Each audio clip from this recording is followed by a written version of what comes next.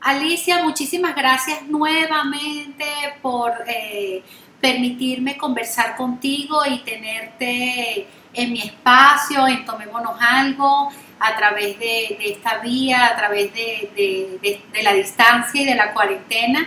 Y bueno, para mí siempre es un orgullo que tú eh, me abras las puertas pues para tener este tipo de conversaciones. Muchísimas gracias a ti, Carolina. Eh, a mí me encanta conversar contigo y bueno, si además le dejamos estas conversaciones a, a nuestros seguidores como elementos beneficiosos ¿no? para su vida, pues mucho mejor. Sí, siempre, la idea es eso, siempre ayudar, aportar y, y bueno, contribuir en este mundo, en mi caso, de la maternidad y de la crianza. Muchas gracias. Alicia, mira lo que tengo por aquí. En estos... ¡Ay, no! Sí. Hace un par de semanas yo vi que tú... tú Gracias, claro, para mí es una sorpresa. yo sé, sí, Alicia, yo lo sé. Hace un par de semanas yo vi que tú estabas este, invitando como a un foro chat eh, pero yo decía, no yo, no, yo no puedo participar en un foro chat sobre ese libro porque de verdad que es muy profundo, debe estar otro nivel allí de, de psicólogas y de psicoterapeutas. Además que quiero confesarte que yo tengo muchos años con él y nunca me lo he leído así completo seguido, ¿no? Es como una consulta, es como, no sé, como acudir a él en algunos momentos. Y bueno, llevo más del 60% leído. Pero yo, claro, claro. Pero yo sí te digo, bueno, ha resultado muy beneficioso em, el grupo, porque es como un, grupo de apoyo, que lo hacemos por Zoom, ahí están concentrados a 40 personas en una mañana y hacemos como una lectura colectiva y vamos comentando un libro. Entonces es muy chévere porque, bueno, yo también tengo ya muchos años con él y, y es un libro que a mí me encanta, que, me encanta leerlo, me encanta analizarlo, los cuentos, las historias. No por nada, Clarisa Pícola se tardó 20 años en recopilar las historias, en redactar. O sea, es un libro que está hecho de verdad, mucho amor eh, mucho amor a, psicología, mucho amor a las mujeres, para, su, para su sanación. Y de hecho a mí me ha pasado que he tenido pacientes también que les he podido leer algún capítulo, de verdad que les ayuda también muchísimo. Entonces, de verdad que, es un libro que, que ayuda tanto a, a conocerse, ayuda tanto a comprender la vida, delicioso, delicioso, divino. Sí, divino. Yo tengo mi historia, bueno, con él, pues me lo regaló una gran amiga, este, una excelente amiga, eh, y yo ni pensaba ser madre en ese momento que ella me lo regala y me dijo, esto es lo mejor que yo te puedo dar en la vida, tenlo, era de ella, cuídalo, cuídalo mucho, yo sé que en algún momento lo vas a necesitar. Y bueno, yo efectivamente fue así, pues este, en algunas circunstancias y momentos de la vida donde esas emociones están confundidas, eh, bueno, eh, donde tenemos ese tema emocional de femenino, de la maternidad, sobre todo en mi caso con la maternidad, pues acudí a él. Este, y bueno, de verdad que, es algo de muchísima ayuda, es una excelente guía.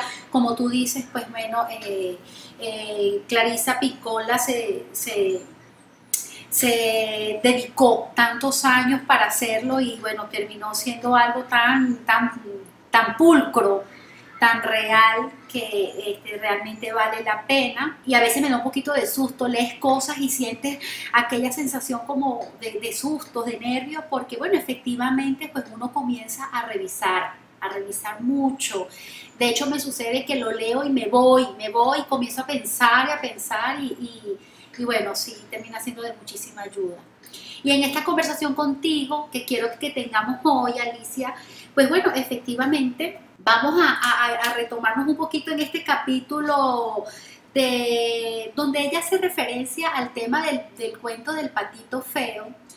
Eh, sin ánimos mucho de analizar el, capítulo como tal, sino en ese tema donde este, se habla del tipo de madre, donde ella a, partir del cuento del patito feo, pues comienza a hablar del tipo de madres y tratar de llevarlo como un poco a, la realidad actual, pues a estas nuevas generaciones de ahora como somos eh, las mujeres ahora, pues por lo menos en mi caso, este, hablar como de esa causa y efecto, Alicia, que tenemos en la crianza. ¿En qué tipo de madre podemos estar eh, convertidas? ¿Cómo nos podemos ubicar? ¿Cómo podemos estar afectando de repente un proceso de crianza a nuestros hijos, considerando un poco la crianza que nosotras tuvimos? Bueno, fíjate que en este capítulo del patito feo se habla de los tipos de madre, porque en el, en el cuento, básicamente, nos encontramos con una madre que no cree en su hijo, que no lo defiende de los ataques que vienen del exterior, sino que permite que la cultura lo avasalle y por tanto esa, criatura tiene que buscar su, su, propia manada, que es el espacio en donde él verdaderamente puede sentirse libre, donde puede crecer, sí. donde puede expresar como todo su esplendor.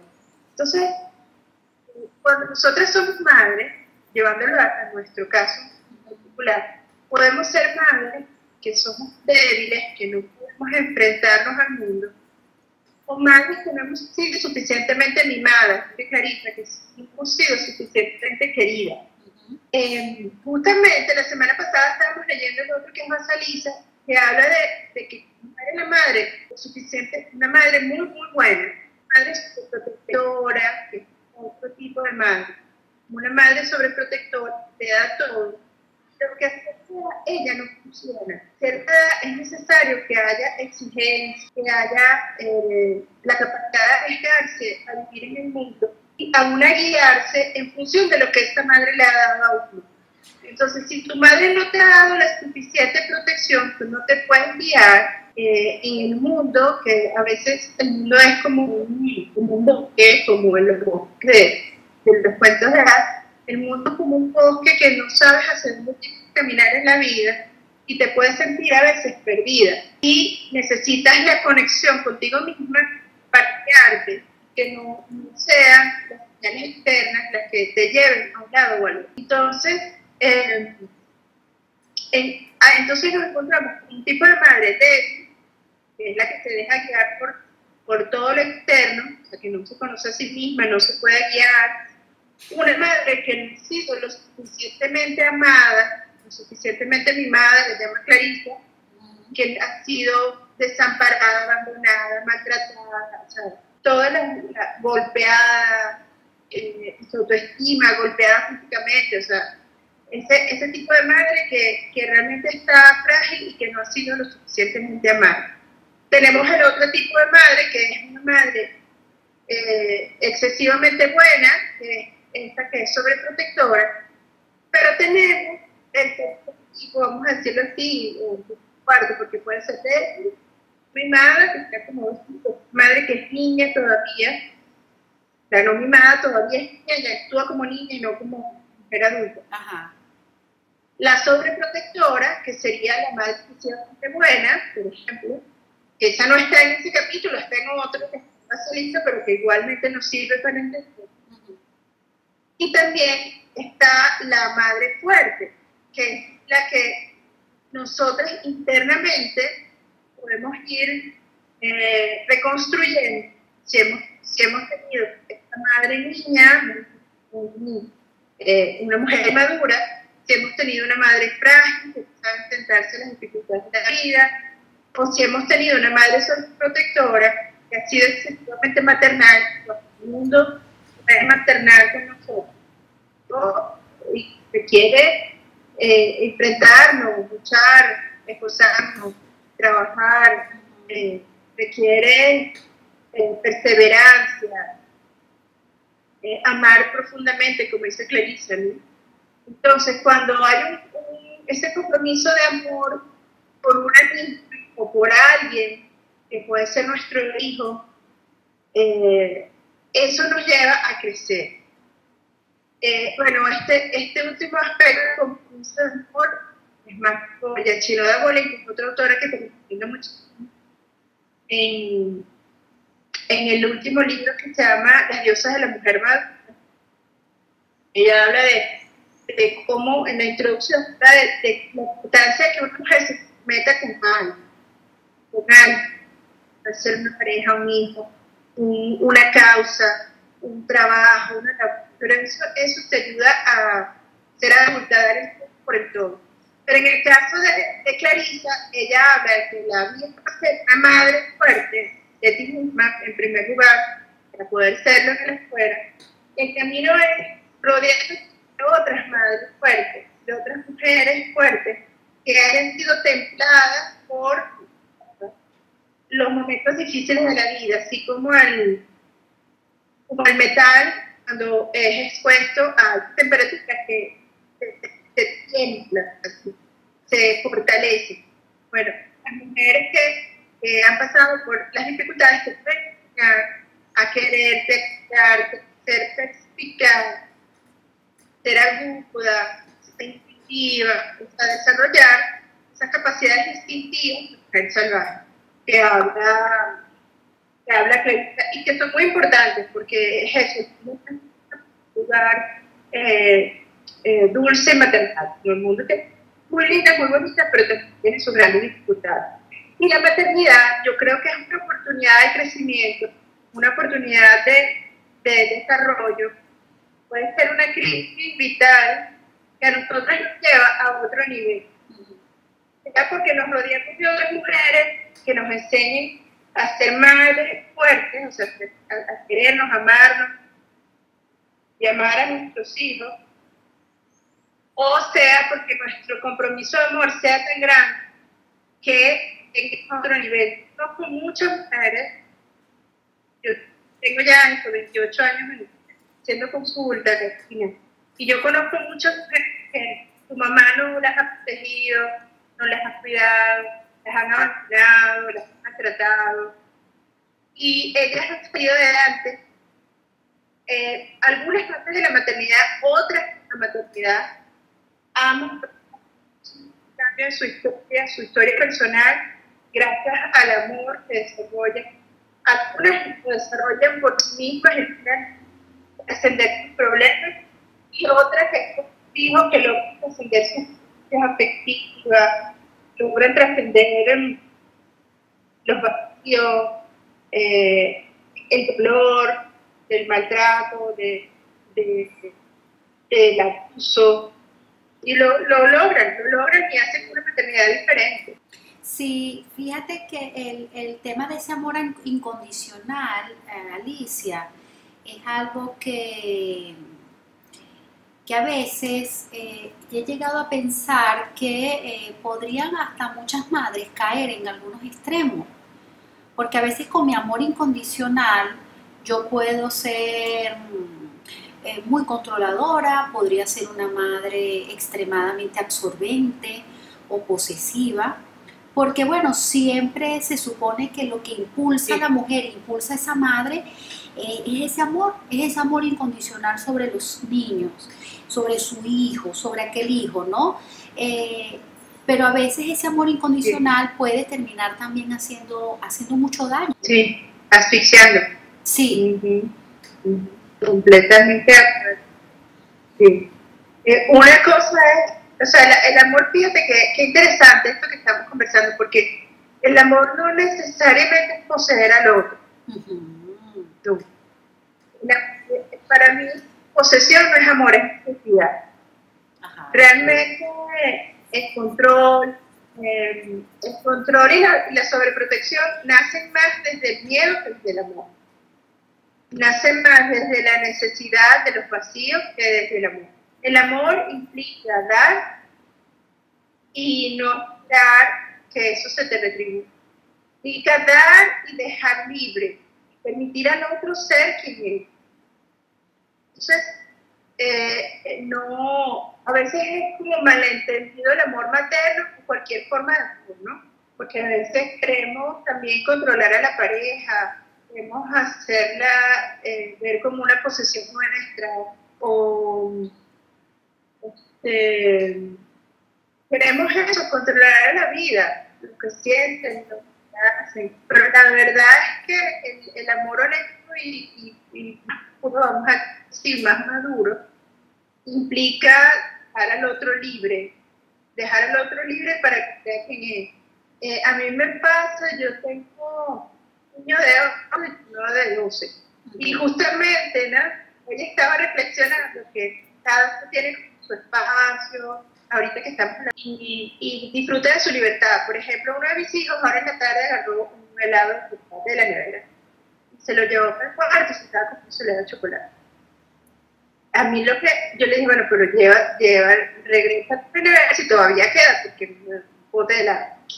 Si no te vas a servir en una, ¿no? Si no te lo vas a servir en que lo que debería ser en una taza, pero bueno, eh, ya acepto que se lo llevó, porque se lo comió, y, todavía queda, entonces lo, lo, tiene que guardar en la nevera. Es lo único que me preocupa ahora es que, pierda, ¿no? Pero me llamó mucho la atención, yo decía que libre usted, que poquito que se sienta libre de ir a la nevera y agarrar lo que quiera.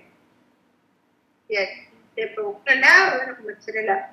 Es como, como esa esa sensación, ¿no? Y ellos tienen sus propios espacios, colegios, sus actividades, y, y con su papá. Y, entonces es como, cuando, cuando, uno, cuando uno permite que los hijos tengan su propia vida, y ellos cada día se van haciendo más independientes.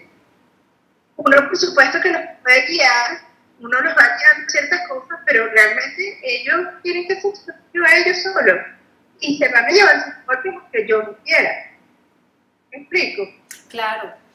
Por eso es que... A veces tienes que guiarlos específicas, pero, o sea, qué sé yo, por ejemplo, yo les estaba hablando hoy de la curva de contagio y cuando baja la curva de contagio del, del COVID, que bueno, que entonces vamos a poder salir, porque su más poder y tal. Entonces, hay cosas específicas que es importante que los pueda guiar pero la verdad es que ellos son que yo tiene que aceptar, como dice por ahí un, un post, una frase que dice que uno va a tener su tiempo Tiene que aceptarlo. Si uno no no les deja Sí, fíjate que bueno, yo casualmente también en la cuarentena me ha servido para tener un ejercicio con mi hija. Ella tiene 11 años y eh, siempre he sido muy sobreprotectora, sobre todo en el tema de las labores de la casa, ¿no? Y yo se lo hago y yo la ayudo y yo lo puedo hacer. Entonces, este, su papá pues comienza a decirme, mira, tienes que empezar a dejar que ella haga más, que ella resuelva más. Siendo yo una mujer que me tocó desde niña comenzar a hacerlo sola porque mi mamá se enfermó cuando yo estaba muy pequeña y me tocó eso, resolver, aprende a hacer un desayuno, aprende a hacer un almuerzo, a, hacer cosas solas desde muy pequeña, nos tocó defendernos por la enfermedad de mi mamá. Y justo en la cuarentena, en un momento en que yo veo que su papá tiene la iniciativa de que, bueno, sí, pero déjala que ella haga unas arepitas. Y la veo, sabes, que todo se le hacía tan difícil, empastelada y mi corazón se arrugó y yo dije, Dios mío, ¿cómo puede ser que yo no haya enseñado a ella que lo haga? O sea, si tuviese una necesidad de hacer las cosas solas, este, no se lo he permitido. Siempre he sentido que yo estoy aquí y yo estoy para eso, que yo la puedo ayudar. Y wow, o sea, me, me tocó hacer una reflexión sobre eso precisamente me tocó hacer una reflexión sobre eso porque dije, bueno, en el tema de protegerla, pues la he limitado. Y bueno, como, como tiene que ser, Alisa, uno no sabe en qué momento, o que no es que no, ni siquiera que sepas que va a pasar algo, sino que prepararlos para la vida realmente es algo que a las madres sobreprotectoras nos cuesta muchísimo preparar a esos niños a que enfrenten la vida, a que tengan herramientas para otro tipo de cosas, porque tenemos la seguridad o pensamos que nosotros siempre vamos a estar allí para sobreprotegerlo. Y por eso me lleva el tema en esta conversación contigo hablar sobre esa causa y efecto, o sea, cómo a lo mejor la manera como fui criada, la manera como recibí afecto, la manera como no manejaron las emociones en mí, tanta, tanta, tantos elementos que pueden haber afectado en, o haber influido más que afectado en la crianza de uno como mujer, eso termina teniendo ese efecto en nuestros hijos a pesar de tener muchas preocupaciones, este, porque yo siento que en la crianza actual muchas mujeres tenemos muchas preocupaciones, Alicia, tenemos muchas angustias, este, nos hacemos muchas preguntas, pero sin embargo hay, eh, hay algo que todavía nos jala y nos frena muchísimo para avanzar. Y cuando hablas del apego, de las necesidades, de los vacíos y los, y los miedos, pues siento que hay muchas madres que este, podrían pues estar con, afectando mucho a lo mejor esa, esa, esa independencia y ese desarrollo emocional en sus hijos por eh, efecto de, de, su crianza pues, o de sus mismos patrones. Sí, que, que de hecho cuando los hijos se van existe lo que se llama el síndrome ese del nido vacío, que es el de las mujeres, el de, los padres que no han, o sea, tanto padres como madres, que no han desarrollado su propia vida, ¿no? Ya cuando sus hijos se van de la casa, cuando se van del hogar, tienen esa sensación de que se les va todo. Porque de alguna manera eh, su vida ha estado solo alrededor de sus hijos. No, no se han desarrollado plenamente y no se han realizado de otra forma que no sea a través de sus hijos.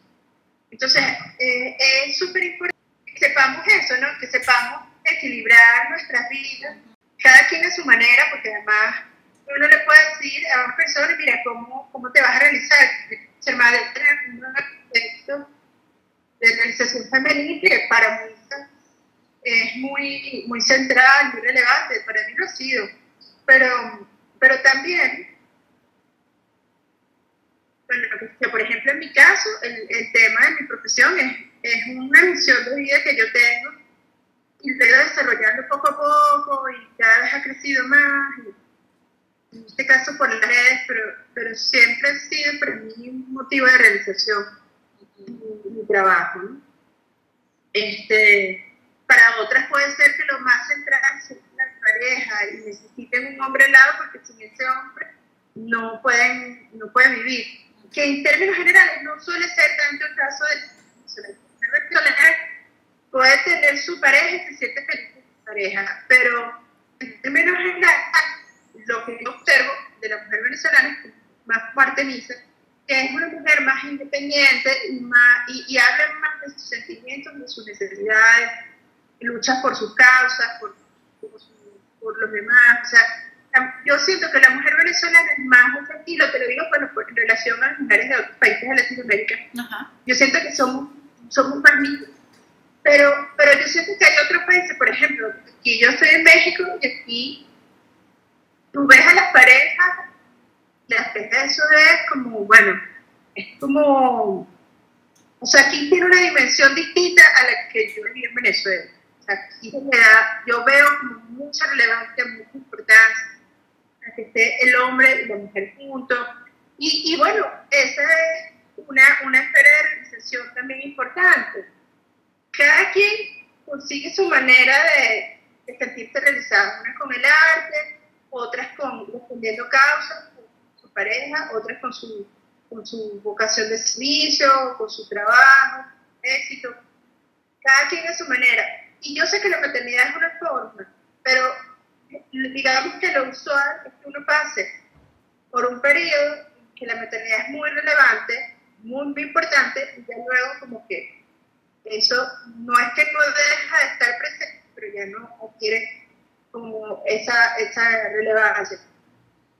Eh, y hay todo tipo de madres, o sea, así como este, tú y yo a lo mejor somos sobreproductoras, este, hay otras madres que, mira, ellos no se preocuparon ni por, por dar teta ni nada de eso, ni por criar un necesito dos años, tres años en la casa, sino que esas se agarraron, tuvieron a sus hijos, eh, a los pocos meses se fueron a trabajar, eh, y bueno, esa es su manera, ¿no? Hay, gente que a veces está más centrada en sí misma que, que los demás, en los hijos, gente muy, muy enfocada en sí o en su trabajo, y muy convencional, o sea, gente muy convencional. Yo sé que este libro de, Mujeres que corren con los lobos en general suele ser visto que incluso las mujeres más convencionales lo leen, transforman, les transforman la mirada de sí misma, la mirada incluso de eso de la pareja, de desarrollo, su, de su progreso personal. muy bueno este libro, realmente no solamente por el tema de maternidad, sino en general todo lo referente a la feminidad ayuda muchísimo.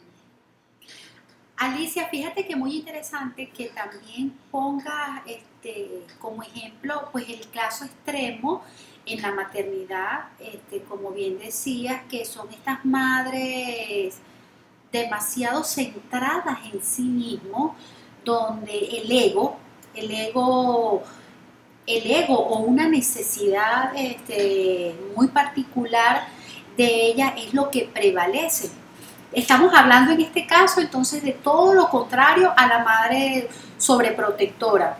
Em, porque de repente una madre sobreprotectora incluso en el proceso de crianza, en, en la maternidad, abandona hasta su relación de pareja, se abandona a sí misma, eh, digamos, em, a nivel de hasta de su aspecto, o sea, aboca todo, en cierta medida, un todo lo aboca sobre ese hijo, ¿no? Y tenemos el otro extremo de, de estas madres, digamos, un poco más ligeras, donde son niños que no son acompañados para sus labores escolares, por ejemplo, el tema de la lactancia materna, a lo mejor no lo voy a hacer porque no quiero que se me caiga el seno, yo he escuchado de repente cosas que dicen, eso lleva demasiado tiempo, este, yo no tengo tanto tiempo para eso, eh, y bueno, cualquier cantidad de cosas, bueno, pueden existir muchísimos ejemplos y tendremos allí esas dos polaridades, ¿no? Eh, ¿qué, pasa qué, estará pasando con esta madre donde tiene tanta necesidad de alimentar ese ego, solamente de verse a sí misma y donde ese desprendimiento hacia la maternidad es tan fuerte y tan evidente.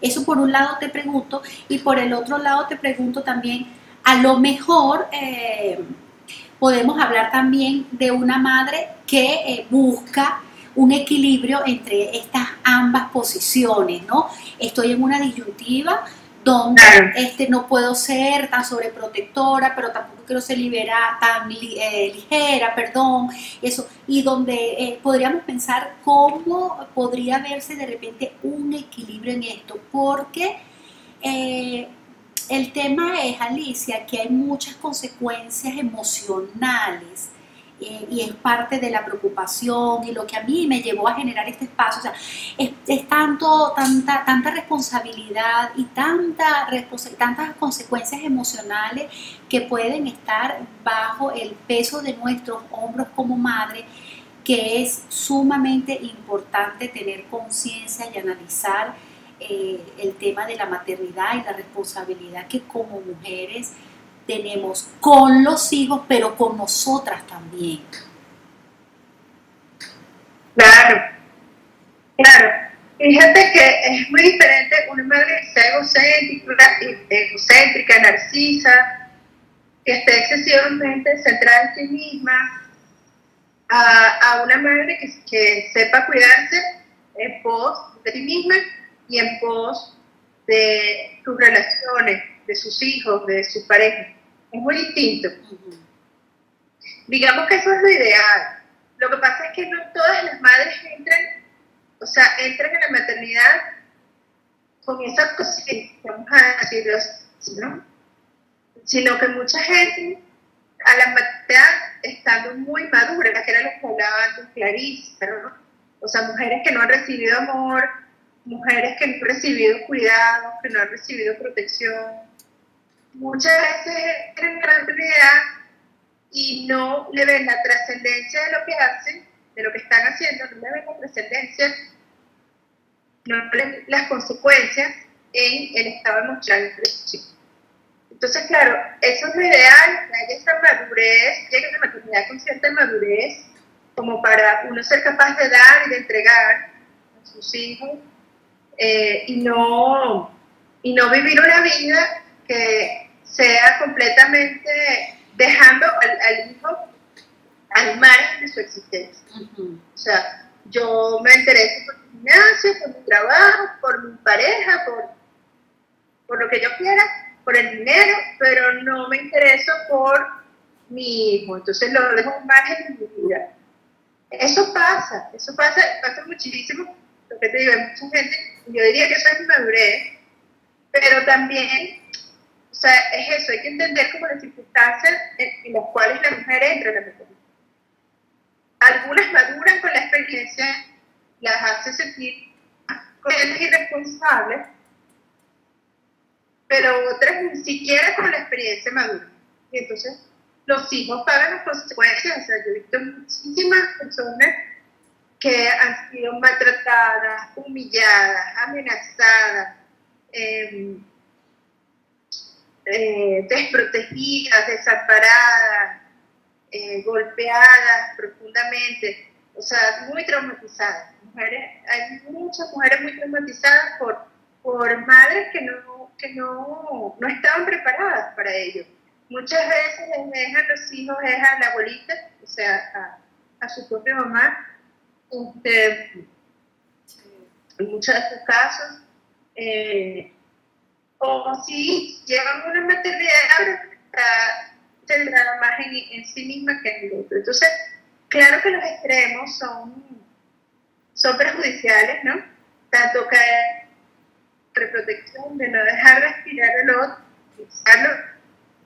de controlarlo, de, no dejarlo ser y no dejarlo desarrollar sus, habilidades.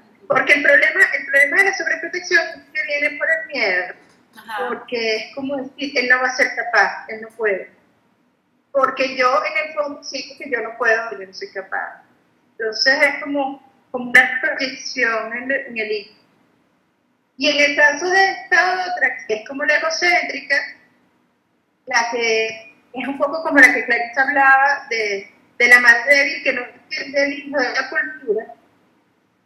Bueno, es una mujer que no, no es capaz de dar y, e incluso el otro tipo, que es el de la no mimada, es la inmadura.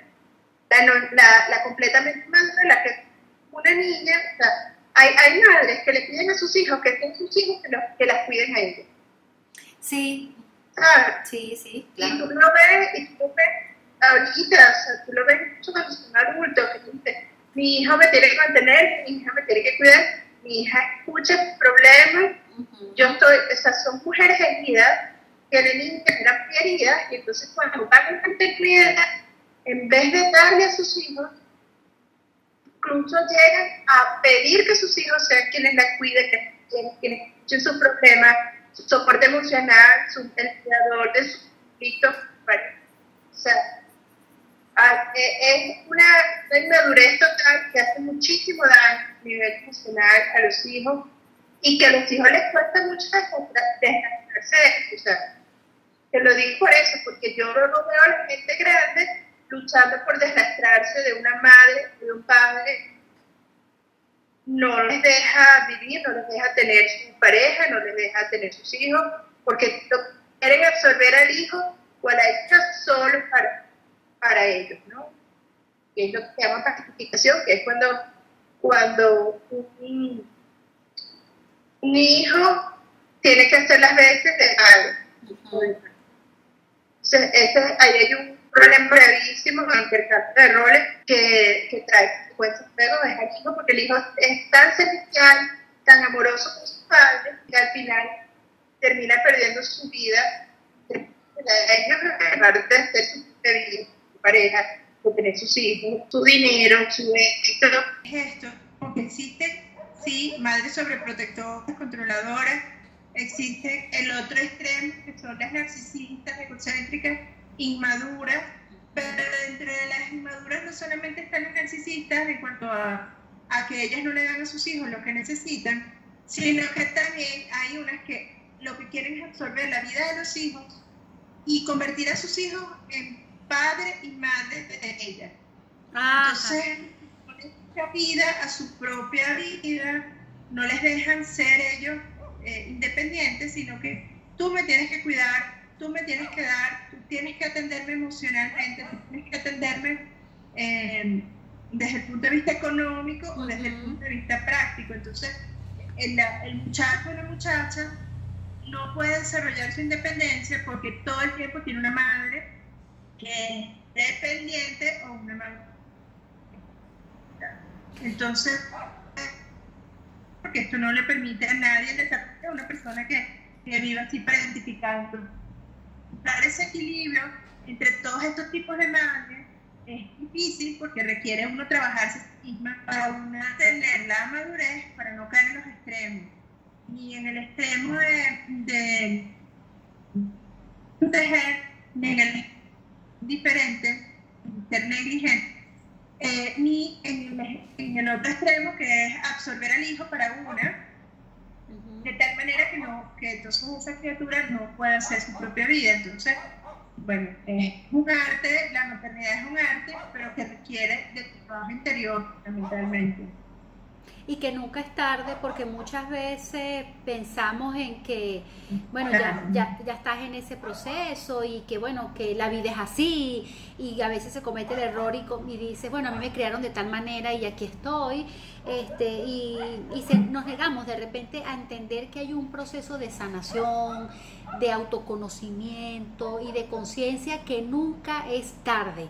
Yo siempre pienso en eso y digo, nunca es tarde en iniciar ese proceso, en aceptarlo, en, valorar que efectivamente, en, aceptar, más que todo es eso, aceptar que hay algo en mí que tengo que sanar, que tengo que evaluar, que tengo que ver eh, para que e, el efecto en mis hijos pues no repercuta de manera a lo mejor en unas negativas por ser, eh, digamos, no ser tan dramáticas, pero en otras de verdad de manera bastante fuerte. Este, y también sé de casos de madres que parecieran que sus hijos son la extensión de los padres. Este, me tienes que dar, me tienes que cuidar, tú tienes que hacer, tú tienes que esto y tú tienes que otro, que son personas que llegan adultas, adultas y no pueden, se les hace sumamente difícil soltar y, ponerle límites incluso a esa madre de tanta, de tanta demanda, de tanto llamada atención que hacen, porque son madres muy manipuladoras, de hecho. Hay manipuladoras, hay dependientes, porque ahora la gente le da por decir tóxico para referirse a todo. Resulta ser muy indiferenciado porque hay algunas que son controladores y sobreprotectores, dependientes, o sea, que resuelvan la vida emocional o eh, económicamente, o como te bien cuidados también, porque son mujeres que no han madurado. Y por otro lado, están las narcisas que quieren hacer su vida a ella sola y son indiferentes ante lo que le pase a los hijos. Eh, esas son como, como, bueno, una de las tantas tipologías, porque pudiéramos hablar de estas que se victimizan para, para manipular y para eh, satisfacer esas necesidades que sus padres no les satisfacieron, ¿no? Entonces, ellas buscan que sus entonces también manipuladoras, víctimas, dependientes, o sea, hay, hay una gran variedad, pero la gente ahora le da por decir que todo es tóxico, y no es así, no hay un solo tipo, ¿ves? No se puede englobar toda la variedad de opciones en un solo tipo, porque yo hablo de algunos rasgos y algunas características, pero puede ser que haya una sobreprotectora que sea manipuladora, por ejemplo, o una, una mujer que sea dependiente y a la vez se necesita. O sea, hay muchas, hay una... Lo importante es que nosotras, ¿no? En el momento en que nos demos cuenta de la, o que nosotras, no, que nosotras estamos heridas, tanto requerimos ese, ese, ese trabajo de nuestra vida, de nuestra historia, y hacer ese proceso de sanación, claro, fundamental. la, la maternidad es una oportunidad de sanar, de verdad que sí. en, cualquier momento, cuando los niños eh, embarazan, cuando está uno en puerperio, eh, cuando están pequeños, cuando están más grandes, o sea, siempre hay la oportunidad de uno verse en ese espejo, ¿no? Así es, Alicia, así es. Y bueno, Alicia, en este tema podemos pasar toda la noche conversando.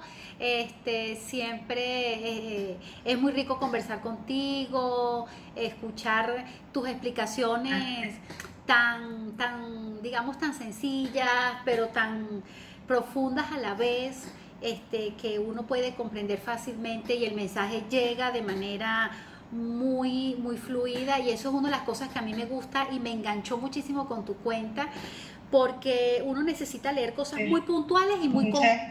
Sí, es, es, eso, leer cosas puntuales, concretas, que, que, te, que te ayuden a digerir eso, eso y que no sea tan... A lo mejor personas eh, que son muy elaboradas para conversar o para hablar o para escribir, este, eso me encanta de tu trabajo, me gusta mucho la manera... Dime. Muchas gracias. Muchas gracias. A mí me, me, me ayuda mucho, o sea, primero escuchar el feedback, pero también me ayuda mucho tu interés por, por descubrir como nuevos elementos dentro de lo que vamos conversando y te agradezco mucho esta oportunidad, eh, la valoro mucho y bueno, espero que no sea... no, claro que no. Sí, señor, es así, eso, eso, eso quiero, eso quiero, créeme. Alicia, de verdad, bueno, muchísimas gracias.